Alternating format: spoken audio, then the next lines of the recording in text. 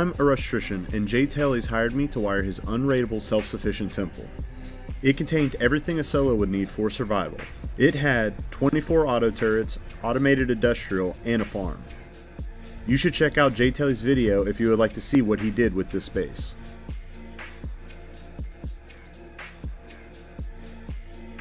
An E-Core is a device that efficiently routes power to your base and your batteries. The batteries will only kick on whenever your power generation does not meet demand, i.e. a raid. So for the E-Core, we will be using two electrical branches, two OR switches, one blocker, one splitter, and one memory cell. Our battery configuration will be using three root combiners, three splitters, and four large batteries. This should give us a 400 Rust watt power budget on this E-Core. An E-Core leverages the fact that a battery can be charged and discharged at the same time during a game tick.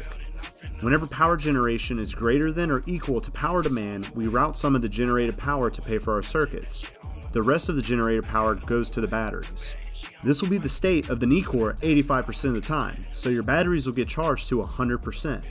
Whenever power generation is less than power demand, then we are going to route all the incoming power to our batteries and let the batteries pay for our power demand with a slow discharge rate.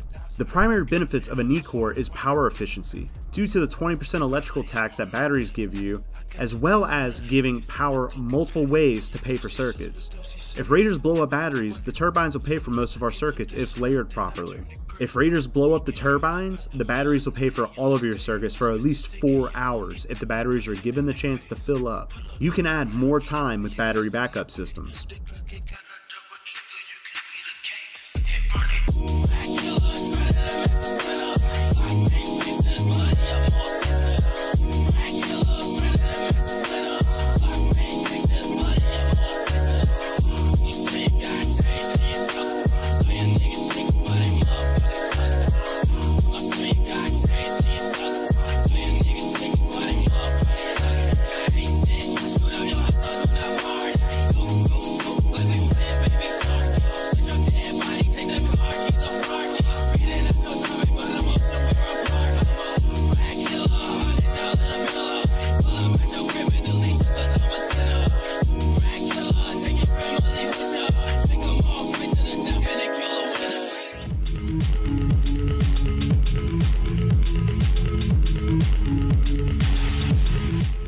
I used a scuffed version of Extreme Speed's version 2 modular sorting system, who by the way is one of the nicest guys in the Rustrician Discord server.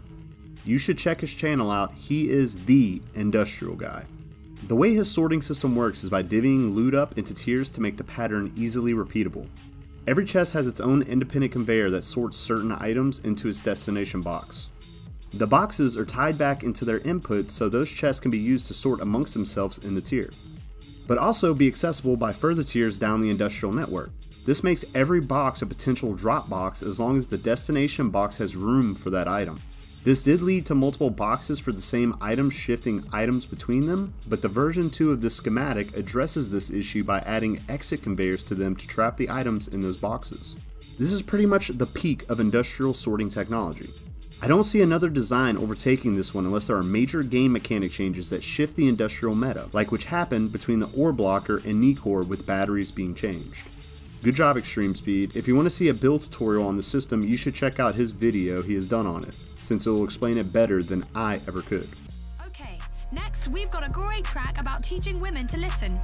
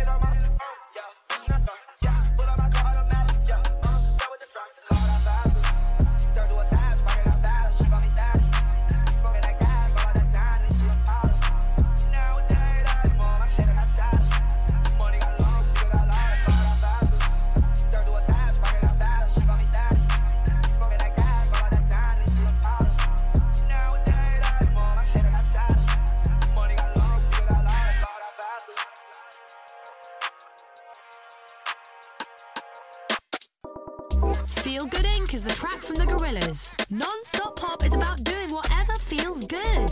And if you're having a good time, then you won't feel bad about it. Eat whatever you want, drink whatever you want, relax, seriously.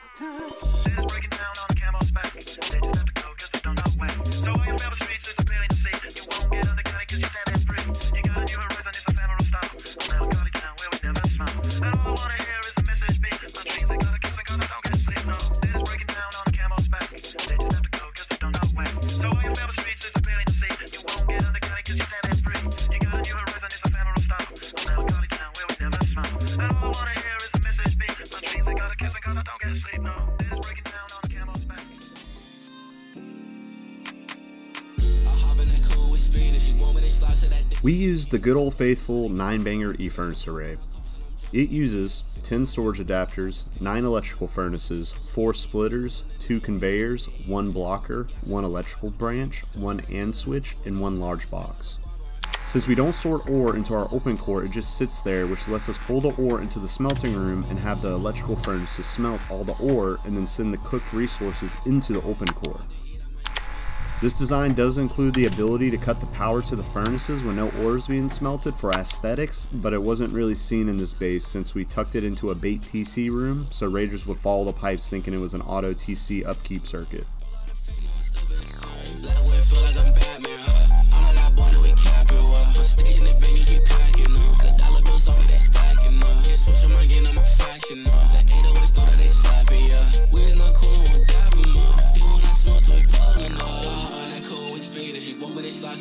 She needed. Say hello to my niggas, that's what I'm greeting. I'm hopping on calls and I'm jumping in meetings. This is my universe, not talking to Steven. I'm playing my odds and this shit looking even. Moving the night,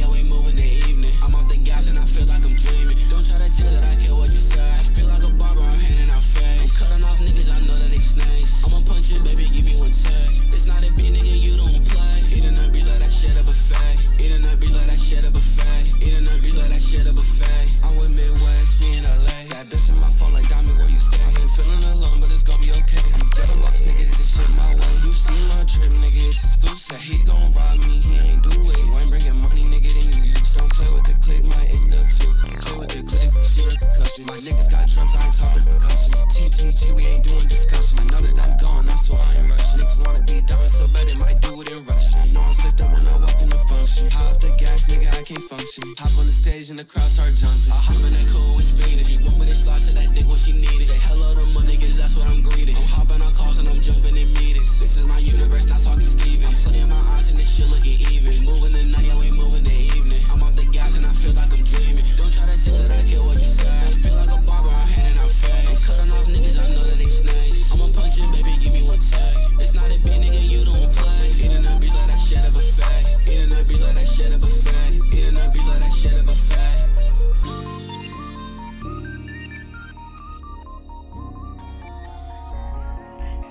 Okay, so when it goes for farming, I'm not a T-Guy Tom. I know that you need to pump and store water, but not the best way to go about it. Luckily, JTeles was loaded, so we brute forced the problem. It's better to have it and not need it than vice versa. To begin, JTeles built 28 large planter boxes around the base, 20 in a ring on the third floor of the temple, and the remaining 8 were on the fourth floor.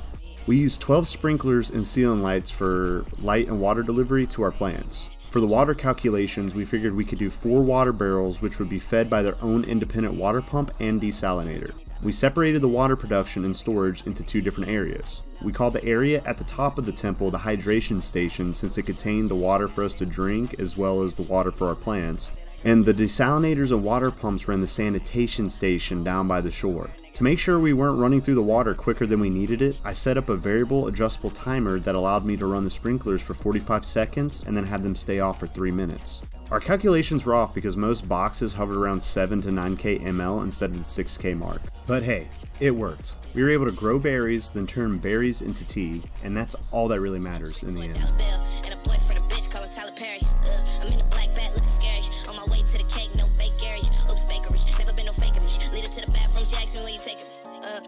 Slow down, baby. I'm too turned up, it's finna go down, baby. When you hit the stage, people do a 180. When I hit the stage, man, the club wanna pay me. Uh, you niggas so fugazi, got a white bitch with me, call that house Slim Shady, uh. Niggas too so crazy, got two hoes with me, make my old bitch hate me, uh.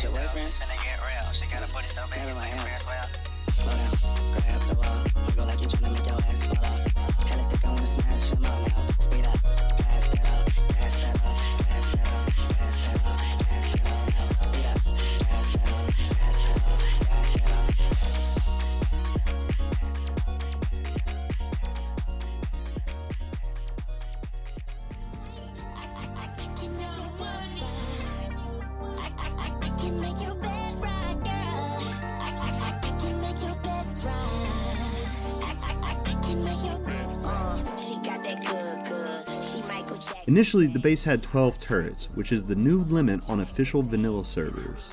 Originally, JTeles had 8 turrets, and I upgraded it to 12. We really wanted some internal turrets, and we could have removed some from outside, but I decided it would be better if we put 12 turrets inside and 12 turrets outside. So I built my patent and trademark pending 24 turret flip flop system.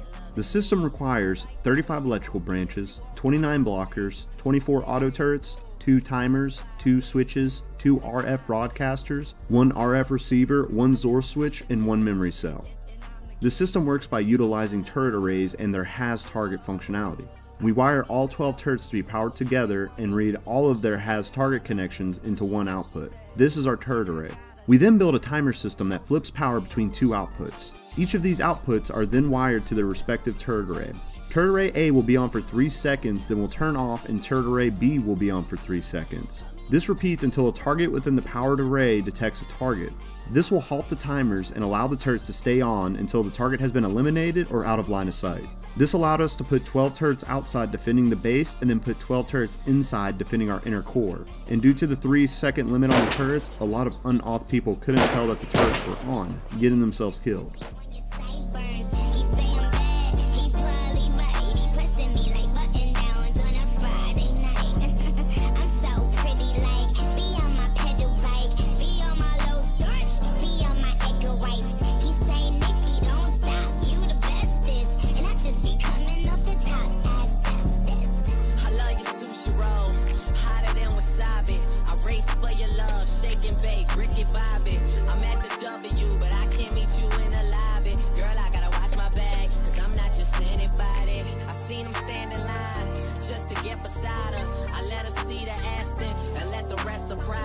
That's when we disappear, you need GPS to find her. Oh, that was your girl? I thought I recognized her.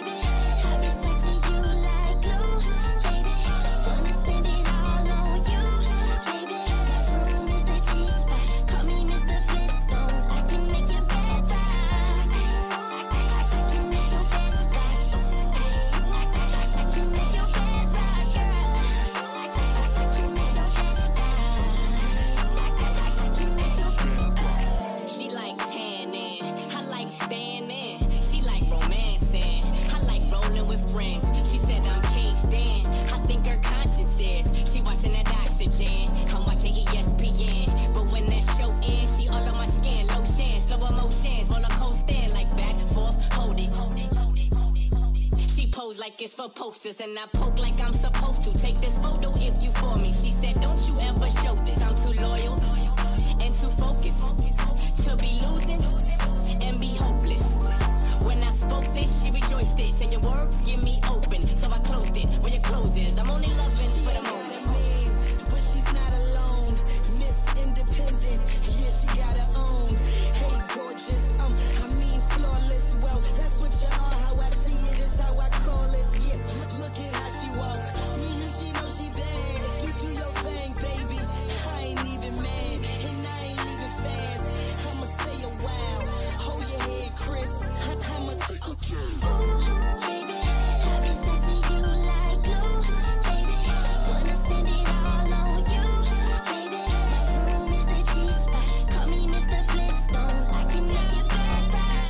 that is pretty much all the noteworthy circuits in the JTeles Temple.